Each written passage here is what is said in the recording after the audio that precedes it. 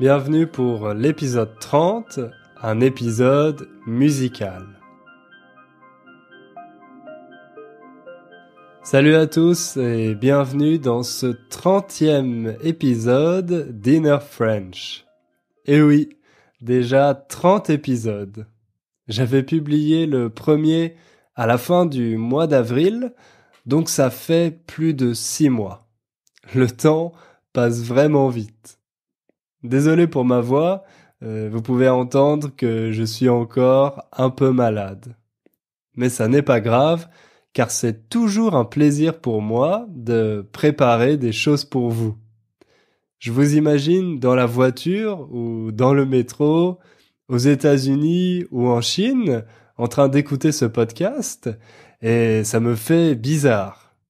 Ça me fait bizarre de penser que des personnes du monde entier écoutent ma voix.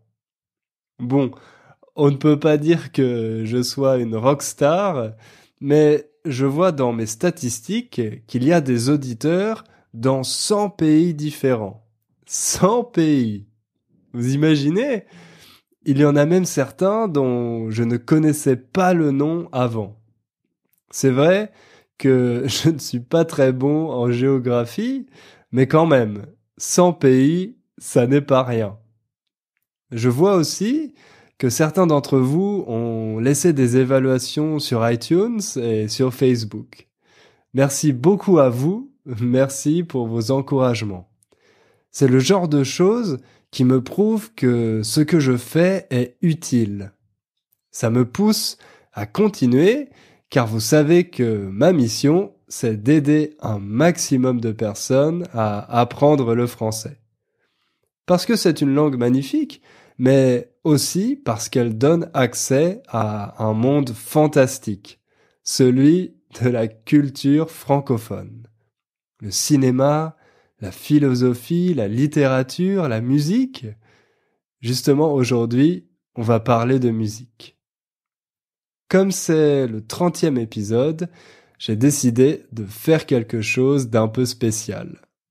Nous allons écouter et analyser ensemble un morceau de musique. Un morceau, c'est un mot qui veut dire une partie de quelque chose. Ça peut avoir différentes significations en fonction du contexte. Par exemple, les Français demandent souvent un morceau de pain quand ils sont à table.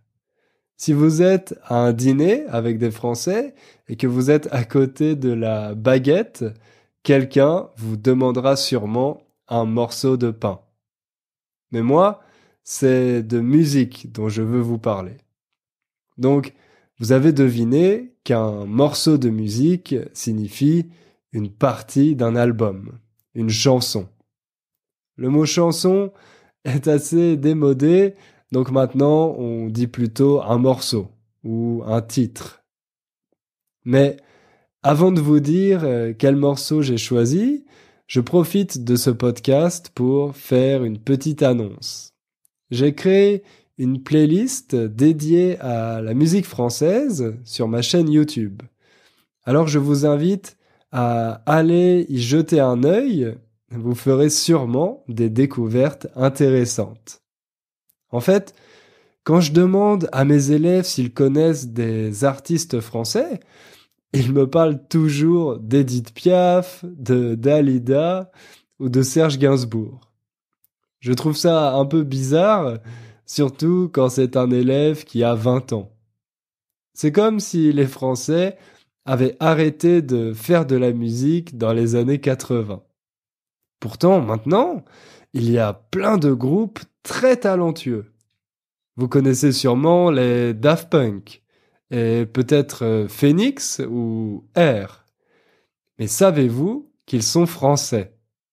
Bon, ça n'est pas très utile pour vous car ils chantent euh, en anglais.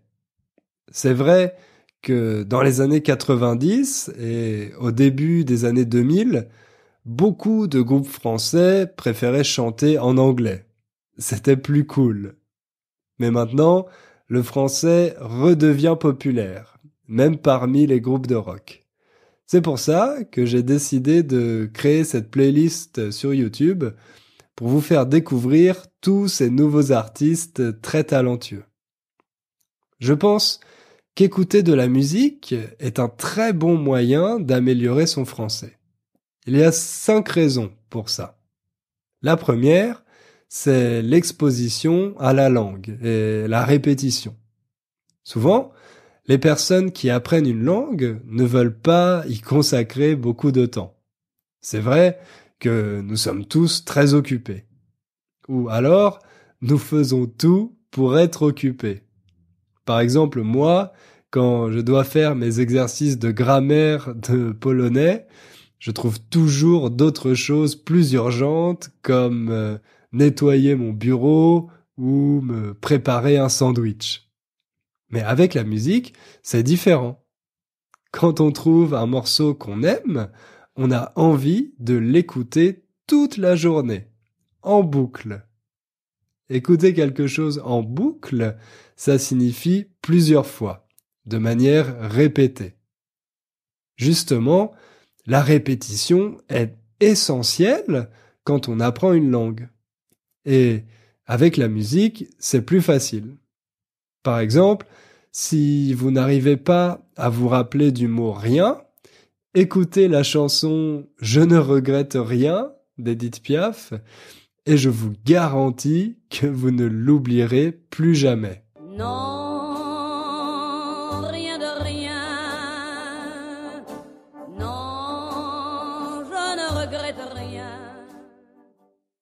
La musique est aussi utile pour nous aider à identifier et séparer les mots. Je sais que c'est un grand problème avec le français on ne peut pas séparer, différencier les différents mots d'une phrase. On a même parfois l'impression qu'une phrase est un seul et même mot. Mais il y a une expérience scientifique de 2007 qui a montré que quand on écoute de la musique, ça devient plus facile d'identifier les mots séparément grâce au contexte. La troisième raison est plus évidente c'est le vocabulaire. Si vous écoutez des artistes francophones, vous allez forcément entendre des mots que vous ne connaissez pas. Évidemment, ça demande un peu de travail car il faut chercher les paroles de la chanson. Mais avec Google, rien de plus facile. Écrivez juste le titre de la chanson plus le mot parole et vous les trouverez immédiatement. Ensuite, il suffit d'écouter le morceau plusieurs fois pour vous en souvenir. Ça nous amène à la quatrième raison, la prononciation. Et oui, comme avec les podcasts, vous pouvez utiliser les morceaux que vous aimez pour répéter certains mots. Bien sûr, ça dépend aussi de l'artiste ou du groupe. Parfois, c'est difficile de comprendre ce qu'ils chantent, même pour les Français. Mais ça vous habituera au moins à la façon dont les Français coupent certains mots quand ils parlent, comme le ne de la négation. Il y a par exemple un morceau qui s'appelle Je m'y attendais pas. C'est un morceau de la chanteuse euh, Cléa Vincent. Vous savez ce que ça veut dire Je m'y attendais pas? Ça vient du verbe s'attendre à, qui veut dire prévoir. La forme correcte ici devrait être je ne m'y attendais pas. Mais à l'oral, on coupe le ne et on fait une élision du je. Donc ça donne je m'y attendais pas au lieu de je ne m'y attendais pas. Facile, non? Enfin, la dernière raison, la raison numéro 5, c'est le plaisir. Vous savez que je recommande toujours de faire des choses qu'on aime pour apprendre une langue. Si vous avez écouté le tout premier podcast, vous savez aussi que c'est une idée que j'ai empruntée au célèbre professeur et linguiste américain Stephen Krashen. Quand on fait des choses qui nous plaisent, les émotions positives nous aident à apprendre plus facilement. Nous sommes dans un meilleur état d'esprit. À mon avis, la musique est l'outil idéal pour ça. Bien sûr, écouter de la musique ne vous permettra pas de parler français couramment. Ça serait trop facile sinon. Mais c'est une bonne chose à ajouter à votre apprentissage, un bon complément. J'espère vous avoir convaincu et maintenant on va passer au morceau que j'ai choisi pour vous. C'est un morceau du groupe La Femme qui s'appelle Où va le monde? Le groupe La Femme est assez jeune puisqu'ils ont commencé leur carrière en 2010. Depuis, ils ont sorti deux albums, un premier en 2013 qui s'appelle Psychotropical Berlin et un deuxième en 2016 qui s'appelle Mystère. Où va le monde est justement un extrait de ce deuxième album. Leur style est plutôt rock, les critiques disent que leur musique fait penser à la cold wave du groupe britannique The Cure.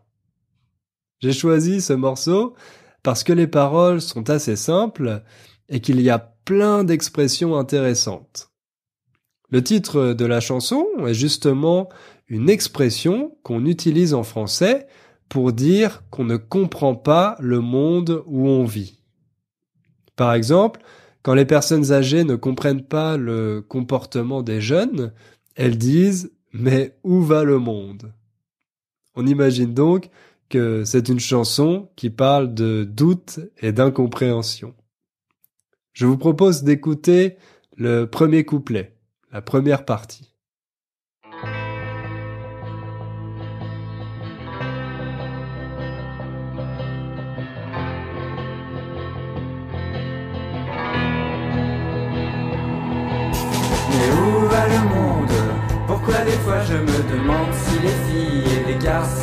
Où sont mes vrais amis.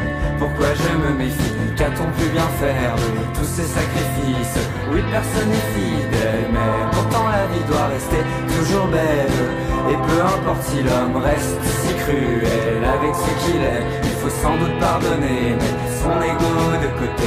Pourquoi tout le monde se ment et se trompe jusqu'à se traîner dans la misère? La plus totale Donner ma confiance et mon cœur, pourquoi ça me fait si peur? Est-ce bien normal? Non, ce n'est pas normal. Vous entendez que dans le premier couplet, le chanteur parle de ses doutes. Il se demande pourquoi nous, les êtres humains, sommes si cruels. Se demander, vous savez, ça veut dire se poser des questions à soi-même. D'ailleurs, je vous rappelle qu'en français, on ne peut pas demander une question. On peut demander quelque chose ou poser une question mais pas demander une question. Alors, le chanteur se demande qui sont ses vrais amis. Il se méfie. Se méfier, c'est un verbe qui est le contraire de faire confiance. Quand on se méfie de quelqu'un, ça signifie qu'on ne lui fait pas confiance, qu'on le trouve suspect ou dangereux.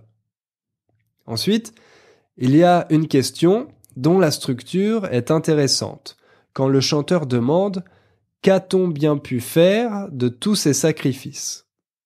C'est le genre de structure qui est difficile à comprendre pour les étrangers.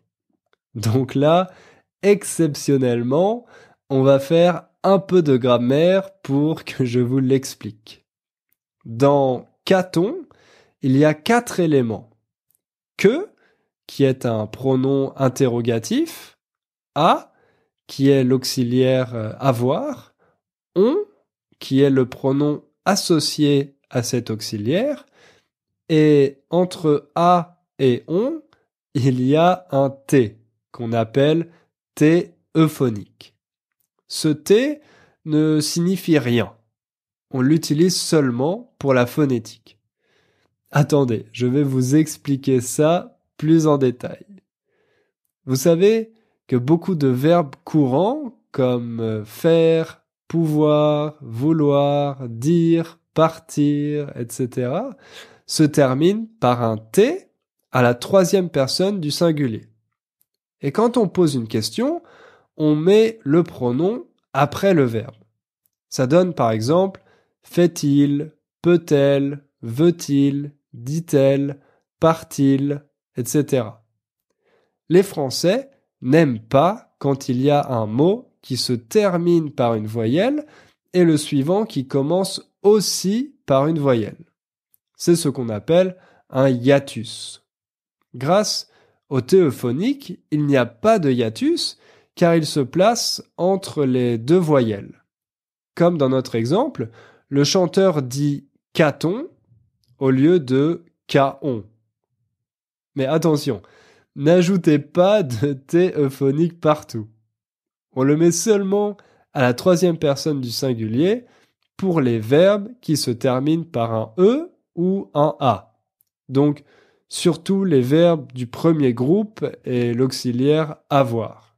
Comme dans la question y a-t-il, par exemple. Y a-t-il un docteur dans la salle?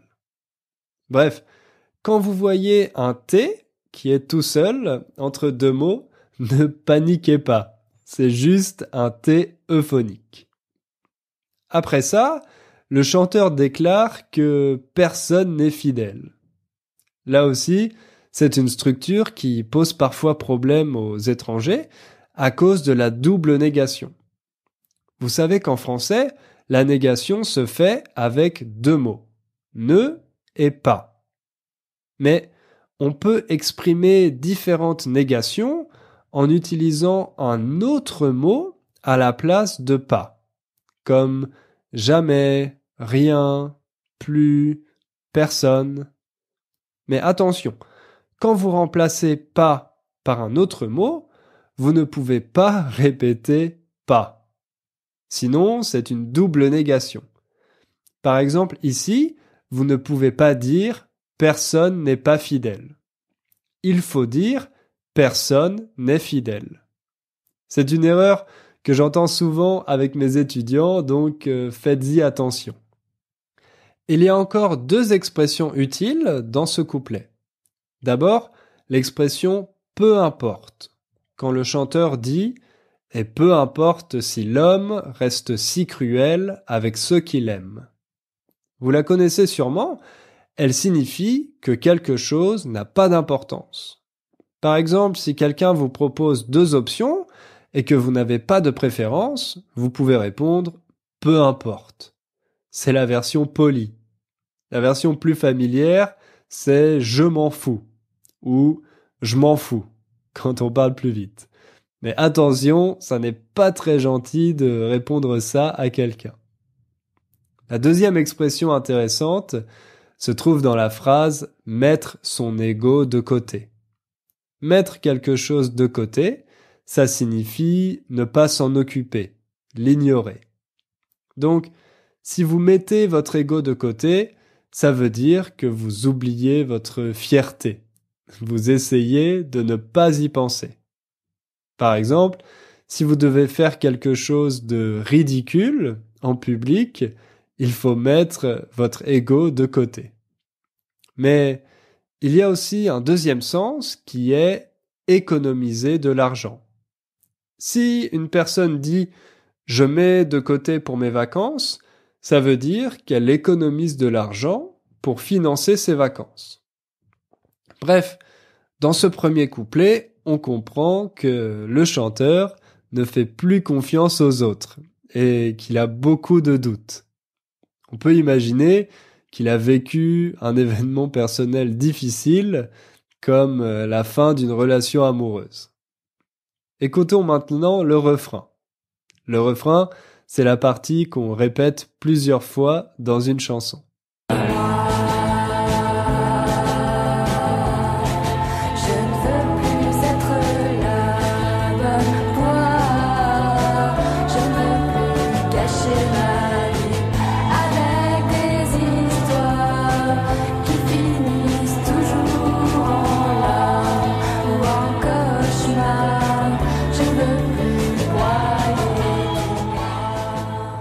Là encore, il y a deux expressions idiomatiques intéressantes.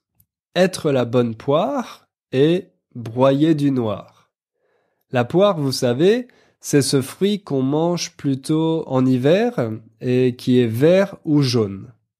Mais être une bonne poire, ça signifie être une personne un peu naïve dont les autres profitent. Par exemple, si vous acceptez toujours de rendre service à un ami et qu'il ne fait pas la même chose pour vous, on peut dire qu'il vous prend pour une bonne poire. Ensuite, l'expression broyer du noir veut simplement dire euh, déprimer, être euh, très triste. Donc, le refrain confirme notre intuition. Cette chanson parle d'une histoire d'amour qui s'est mal terminée. Passons au deuxième couplet pour voir la suite. Je n'ai plus d'estime pour moi, je n'ai plus d'estime pour toi. Tant pis pour ça, tant pis pour ça. Je continue mon chemin, tu es déjà très très loin, très loin derrière moi, très loin derrière moi. Oui, c'était une belle histoire pour finalement taire mon regard foudroyé sans me retourner. Je pars comme je suis venu, encore plus déçu. Et le pire dans tout ça, c'est que je reste un inconnu pour toi. Par pitié, arrêtez de me planter des couteaux dans le dos. Finir par devenir un filet de cicatrices qui ne retiendra en moi que les mauvais côtés de toi. Désormais je n'en peux plus, je veux partir très très loin, je pleure et je renie. C'est la larme de trop qui fait déborder mes yeux et m'a rendu malheureux.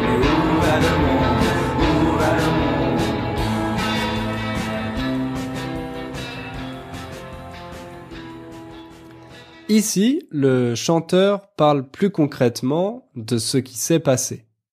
Il est question de trahison et de regret. Il utilise l'expression planter des couteaux dans le dos, qui veut justement dire trahir, tromper quelqu'un. On comprend que c'est un épisode vraiment douloureux pour lui. Il parle des cicatrices qu'il en garde comme après une opération. Maintenant, il va seulement se souvenir des côtés négatifs de cette relation. Il dit qu'il n'en peut plus. Quand on dit je n'en peux plus, ça signifie qu'on n'a plus la force de faire ou de tolérer quelque chose. Par exemple, si vous courez un marathon et qu'après 30 km euh, vous êtes trop fatigué pour continuer, vous pouvez dire je n'en peux plus. Ou bien, si votre chef vous énerve et que vous détestez travailler avec lui, vous pouvez dire je n'en peux plus de mon chef. Ici, le chanteur n'en peut plus de la situation dans laquelle il est, alors il veut partir très loin pour oublier.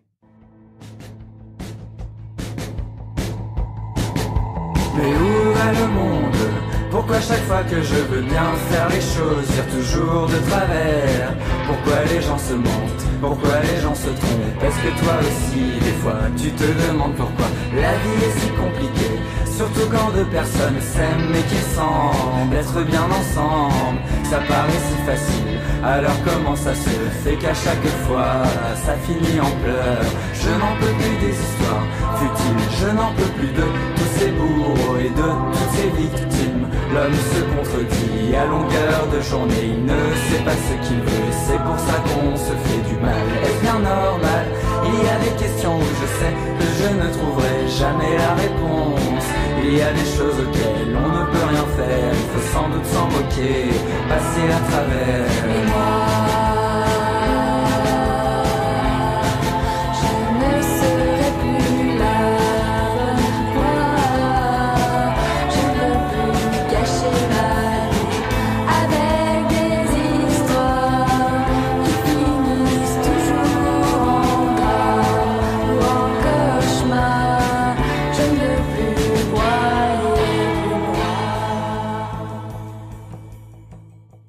Dans cette dernière partie, le chanteur pose à nouveau des questions plus générales sur les hommes et les femmes.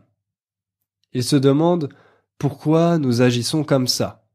Pourquoi nous ne disons pas la vérité et pourquoi nous trahissons les autres. Il pense qu'il y a d'un côté les victimes et de l'autre les bourreaux, autrement dit, les personnes qui font souffrir les autres. Sa théorie, c'est que nous ne savons pas ce que nous voulons. Nous passons notre temps à nous contredire. D'après lui, c'est pour ça que les gens se font du mal. Mais sa conclusion est un peu triste car il croit qu'on ne peut pas changer cette situation, qu'on ne peut rien y faire. La seule solution, c'est de passer à travers, autrement dit, de l'ignorer et de continuer. Sinon, on risque de gâcher sa vie.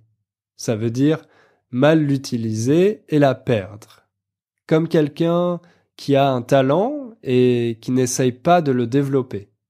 On dit que cette personne gâche son talent.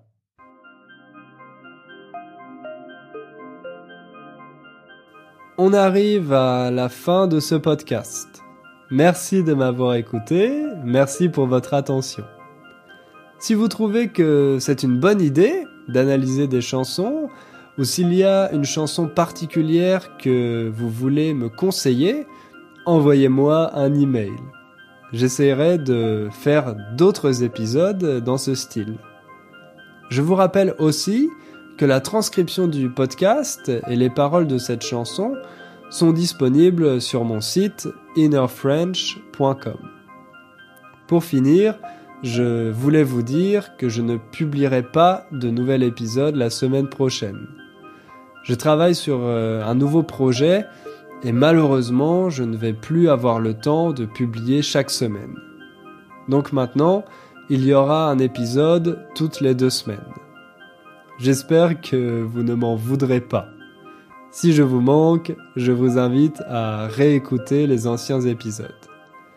Donc, on se retrouve dans deux semaines et d'ici là, n'oubliez pas de faire un peu de français tous les jours. À bientôt!